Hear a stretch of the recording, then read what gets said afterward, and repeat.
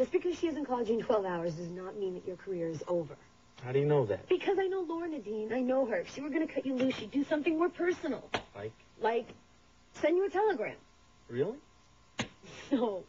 Man, you're joking. I know. That's All right, now. Can I go back to class now, No, please? no, please, no, no. I mean, I Don't have go, don't go. Jenna, please. You know, make it worth I your while. go. make I it worth your while. stay. Why? Honey, I have a class. Come on. What? Please, Dean, didn't you hear anything that I said to you before? yeah, yeah, I heard you. What's the matter? I thought you liked it when I held you. Dean, don't do that. Do what?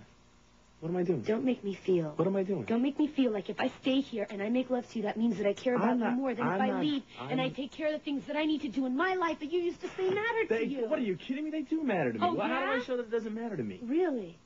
That's a very funny way of showing it, Dean. All right, know? and now you're gonna leave Mad. Please, don't leave Mad. Please.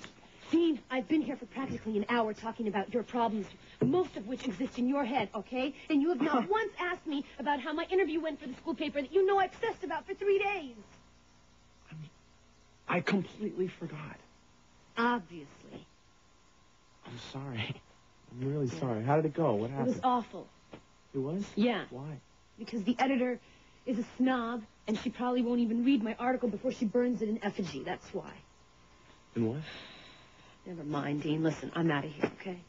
Well, I'm I'm sorry. I'm I'm yeah, really well, sorry you know from what? the bottom so of my I. heart. All right?